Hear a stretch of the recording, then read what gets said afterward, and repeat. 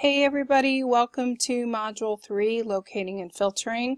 I'm going to take a quick tour of the module components so that you know what you need to do before our next class, which is next Monday. So click on the Module 3, Locating and Filtering link on the left-hand side in the menu. And then I'm going to go ahead and minimize some of this stuff so that we have some more screen real estate. So when you first get into the Module 3 Locating Filtering, you'll see the introduction, and after I'm done with the video, it will be posted here. Read the introduction to get a sense of what Module 3 is all about, and then go to the next page. We're going to first look at the ISTE, which is the International Society for Technology and Education, um, standards for technology for both teachers and students.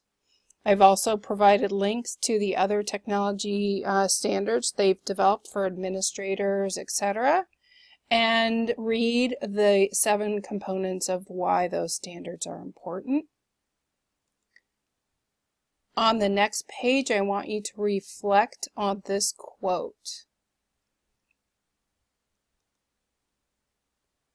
Then the following two pages show you the ISTE standards for teachers and essentially they're two PDF documents and the next one is on um, the ISTE standards for students. Please make sure you go through these carefully because we're going to be discussing them in our face-to-face -face class.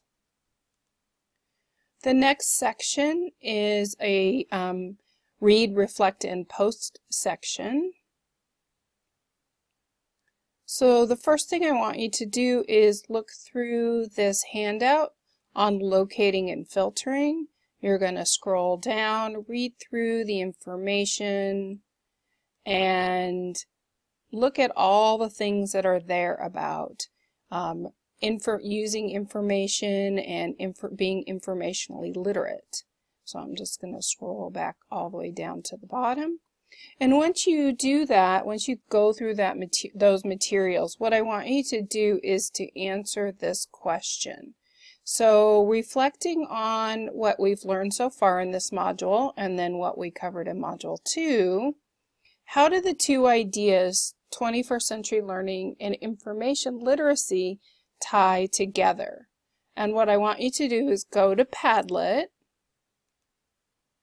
so you're going to click on that link. It's going to open in a new window. And just like we did in other Padlets before, you're going to double click on the wall and you're going to write something. You need to make sure though that you put your name in there if you want credit. And this is due on the day before we meet in class. I'm going to scroll back up to the top and go to the next page.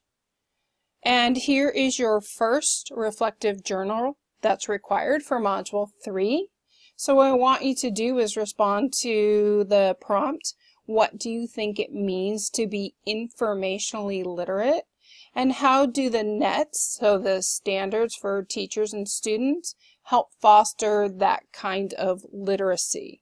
You're going to uh, label your journal entry information literacy and ISTE and those that post is due when your journals are due for Module 3.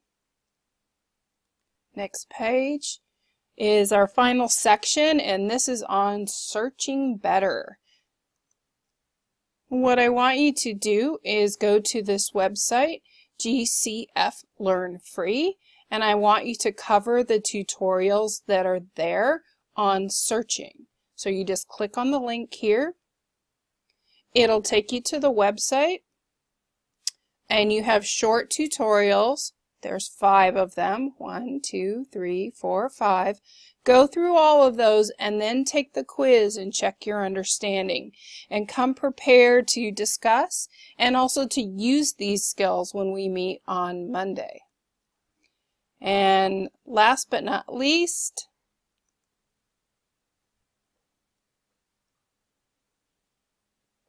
you're going to click on the last thing, which is understanding search results. You need to be signed in to your CSUCI Google account and it's going to prompt you to make a copy. When you click on make a copy, it's going to put a copy of this Google slideshow in your Google Drive. And then I want you to be go through the slideshow and be ready for Monday, our following week, Monday. So, overview, you've got basically three things to do. Look at the ISTE nets and the standards for teachers and the standards for students.